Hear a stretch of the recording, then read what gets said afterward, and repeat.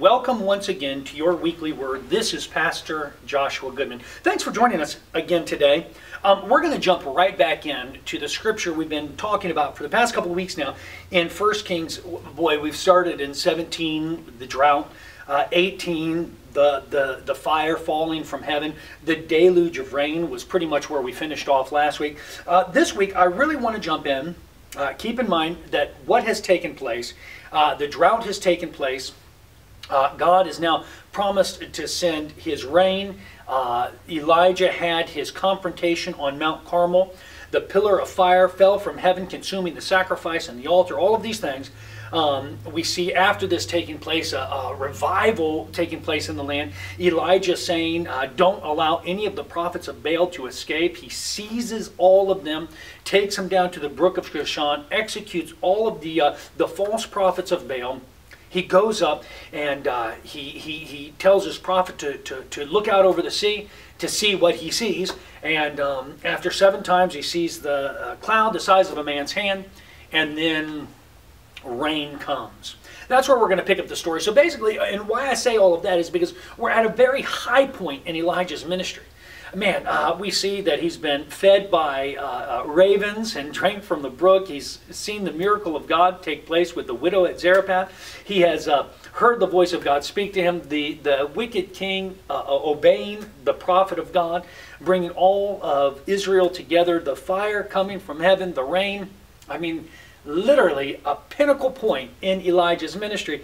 And, and we see just this, this interesting turn of events. Let me read it to you in 1 Kings chapter 19. It says this And Ahab told Jezebel that all Elijah had done, also how he had executed all of the prophets with the sword. Then Jezebel sent a messenger to Elijah, saying, So let the gods do to me, and more also, if I do not make your life as the life of one of them by tomorrow about this time. Like I said, keep in mind, kind of funny. Elijah's at the very pinnacle, called down fire, saw the rain, all of Israel in revival, and all it takes is that evil queen Jezebel to threaten his life.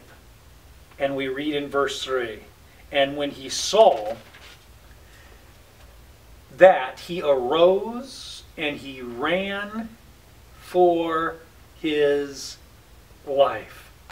And he went to Beersheba, which is in Judah, and left his servant there. This man had just seen the fire of God fall from heaven. This man had just seen a mighty deluge of rain in the midst of three years of drought. And now we see him fleeing, running for his life in the face of his enemies. My friend, uh, you know, as I, as I read this, I, I can't help but think of so many times when I've been on top of my game, things just seem like they're going mm, right. They're going, you know, just uh, as close to perfection as they could go. I mean, experiencing heaven and miracles and power and strength, all of this good stuff taking place. And sometimes, if I can admit to you, all it takes is the enemy to come in with one little threat. One little misstep in goodness sake, it, it can cause everything to just turn upside down. It can cause uh, it, what it feels like your whole life to just be turned upside down, topsy turvy, knocked around all over the place. Interesting how one minute we can be in this great heavenly spiritual high place and how quickly we can fall to the, the darkest valley, that difficult place, that dark place, that hard place. All it took was one threat from this evil queen, and we see Elijah running for his life. Verse 4 says, But he himself went a day's journey into the wilderness. And this just shows you um, how dark of a place that was. And he sat down under a broom tree and he prayed that he might die. Have you ever felt that way? Kind of funny, right? You can be in such a spiritually great place, wonderful place, and then the enemy comes in, and in that one instant, turns everything around, and then suddenly here Elijah is praying that he might die. And he said, It is enough. Now, Lord, take my life, for I am no better than my father's. Heavenly Father, I've had enough of this. I, don't know what else to do. I don't know what else to say. It is enough. I've had enough. Enough is enough is enough. Then it says in verse 5 Then he lay down and he slept under the broom tree. Suddenly an angel touched him and said to him, Arise and eat. Then he looked there, and by his head was a cake of bread that had been baked on the coals and a jar of water. And he ate and he drank and he lay down. Verse 7 And the angel of the Lord came back a second time and touched him and said to him, Arise and eat. And I want us to pay very close attention right here, for the journey is too great for you. You see, even in the midst of the hardship and the difficulty, man, we can we can just be right on top of the mountain. Then that one little thing come in and ah, turn us, you know, just flip flop us right over. My friends, we can know that even in our desert, sleeping under the broom tree, praying, God, it is enough, just take me. That the angel of the Lord still comes to us and, and gives us drink and gives us bread, gives us nourishment to sustain us, because our Heavenly Father realizes that the journey is too great for us, that the journey can be so difficult. You know, perhaps you're on top of the mountain, or maybe you're down in the valley today. But you can know that whether up high or down low, somewhere in between, that the journey that God has before you, in and of yourself, is too great for you. You cannot hope to conquer the mountain on your own. You cannot hope to conquer the valley all by yourself the journey, the purpose, the plan that God has for you, it is too great for you. Jezebel is going to try to come after you. She's going to try to slay you. She's going to uh, uh, uh make her idle threats at you. She's going to try to lie to you. And she's going to do whatever she can in her schemes to cause her desired rebellion and, and witchcraft and these things to take place.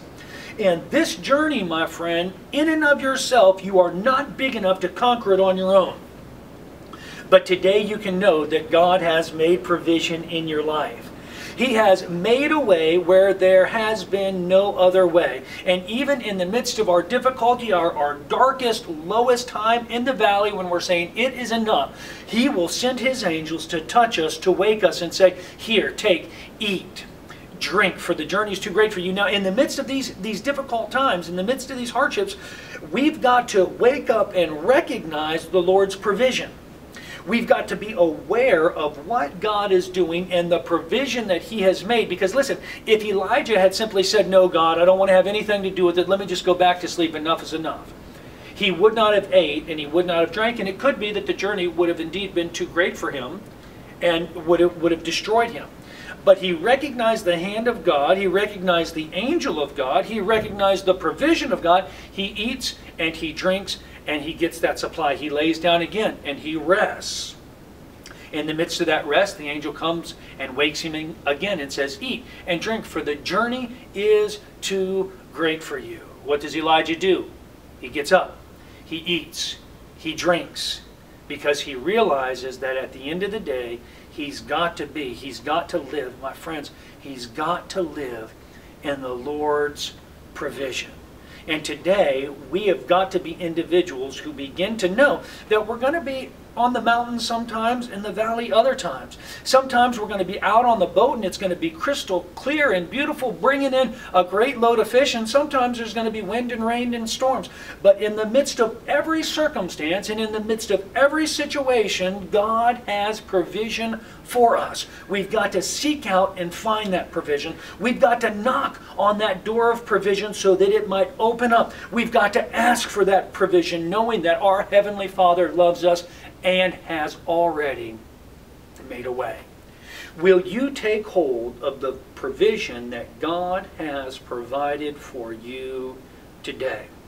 You say, Pastor Josh, where do I find this provision? Well, I can tell you. I'm going to let you in on just, just a little secret. The very first place we find that provision is right here in His Word. My friends, this is the meat that God has for us. This is the bread of life. This is what we nourish ourselves on. And then the second place we find that provision is in that place of worship and that place of prayer. That, my friends, brings the anointing. That brings the, the water. That brings that refreshing when we're dry and parched that God has for us. Through the Word and through the worship, God will provide. Let's go ahead and pray today. Heavenly Father, in the name of Jesus, we, we come before you, Lord, and God, right now, in the name of Jesus, Father, we, uh, in the midst of our difficulty and in the midst of our hardship, whether we're uh, up on top of the mountain or down in the valley, God, let us see your provision, that provision that you have provided, because this journey is indeed, God, it is too great for us. It, it is too difficult. And that plan, that purpose, God, that you have for us, in and of ourselves, it's too big for us. So we must be provided for by you in order to accomplish that purpose, in order to accomplish that plan. So Father, we will we will eat from your provision. We will we will drink from that which you have provided and worship God. And in doing so, we know that this journey will not overcome us, but we will overcome it. Father, we thank you. We give you all glory and all honor. In Jesus' name, amen. Make sure we do that this week. Trust in, rely upon the provision that God has provided for the journey. Seize that provision, take that provision, eat and drink that provision, and see the journey no longer being able uh, to overcome you, but you overcoming it. This is Pastor Joshua Goodman with your weekly word. Thank you for joining me this week, and I will see you next week.